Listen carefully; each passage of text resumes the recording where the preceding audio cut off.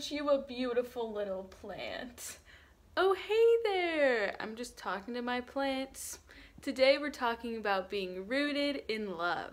What you will need for today's video is the worksheet. It is in the description, so print this out. You will also need something to color with, some scissors, your Bible, and a brown paper bag. It could be one like this one, a lunch bag, or it could be one that you find at the grocery store. It just needs to be brown, paper, and a bag. So grab those five things the worksheet, something to color with, scissors, your Bible, and a brown paper bag. So this week we're to switch it up a bit and actually do the craft first. So grab your brown paper bag and your scissors and we're to start this craft by cutting little strips in the top. So in the top part where it is open, you can close it and cut little strips about this big just a little bit into it. So don't cut all the way, but cut strips about this big. If you have a bigger uh, grocery bag, cut a little bit bigger strips because you don't want too many. So I'm just to cut a few strips into this bag a little of the ways down. Doesn't have to be perfect. So I have a few strips in the top of this bag. Now what you're to do is open up the bag. It'll be kind of difficult because it's all ripped. But open up the bag all the way and you're gonna kind of open it a little bit more on the bigger ends like this to help it. And then you're gonna smush it down and together. So like this and on the bottom of your or the top of your desk squish it down like this. So there's a little it's flat and it's mushed together. Quite a mess right now and you're gonna twist it a little bit now you can guess to see what we're making, but twist it like this until you get to the little fringe part. So now you have the trunk of your tree that we're making. The next step is to just take each strip of paper and twist it a little bit, crinkle it, make it into a nice branch. And you're going to do this with every strip of paper. that one just fell down. But you just kind of crinkle it. Do it however you want. Make little branches in your tree. It's kind of fun. Satisfying to crinkle this paper. And do it for every strip of paper. Boom, I already have a tree looking thing. And once you do it to every strip, it should end up looking like this.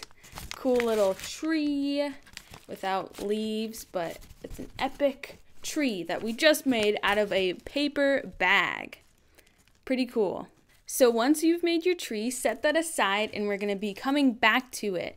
But first, let's read the passage today. We're going to be reading Ephesians. So open up to the back of your Bible to find Ephesians. And the verse we're reading is Ephesians 3, verses 16 through 18. So find that big 3 and that tiny 16. Ephesians 3, verses 16 through 18 go like this.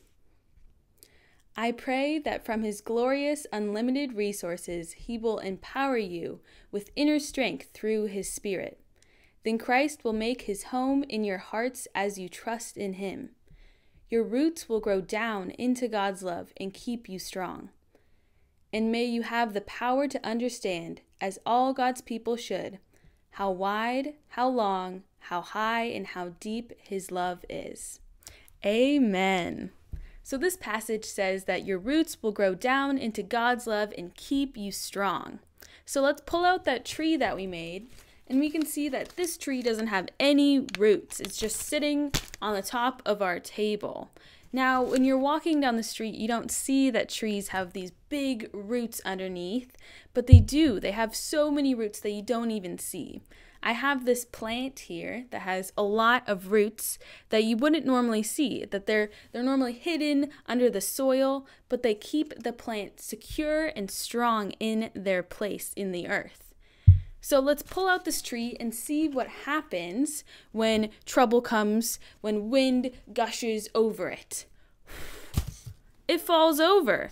There's nothing to keep it in place. There's no roots to secure it into the ground. It just topples over when trouble comes. So let's see what happens when we add roots, when we're rooted in God's love. We'll see if that strengthens the tree and strengthens us. So, what you're to do is grab your scissors and just cut one slit in each side of the four corners, like so. And do the same like you did on the top and twist it into little roots of the four corners. Doesn't have to be perfect. Just four little roots in our tree that we made.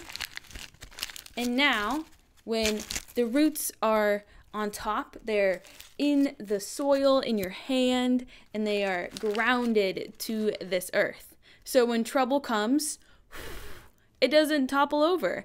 Even if I hit it, it won't come out because it is rooted in the ground. Just like we are rooted in God's love and we are strengthened by God's love. What I would like us to do next is to grab our worksheet and your something to color with, and let's write down places in our life that we need reminders that God loves us, of God's deep, wide, long love for us. I'm going to write down school. Sometimes I forget when I'm in school, when I'm overwhelmed with stress and disappointment in some of the grades that I get, or I just have lots of work to do, I forget that God loves me. God loves us in all aspects of our life. So let's remind ourselves and write down places that you need reminders that God loves you. So I wrote down school when I'm nervous, insecure, shy, overwhelmed, stressed when I'm in school. I need to remind myself that God loves me in that.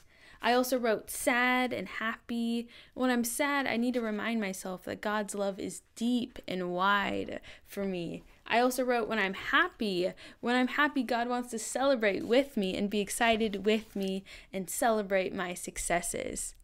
So, this week, I want us to remind ourselves of God's love for us in these areas of our life, to grow our roots deep into God's love, to strengthen us. I hope you enjoyed watching this video. Have fun making your trees, seeing if they topple over with roots or not. You can go see the plants in your yard to see if they have roots, to see if they're strong.